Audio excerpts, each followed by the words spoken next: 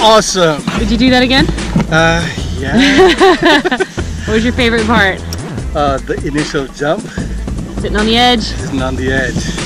I didn't think I could make it, but I did. hey, thank you, my man. You did fantastic. thank you. Thanks for joining us today, man.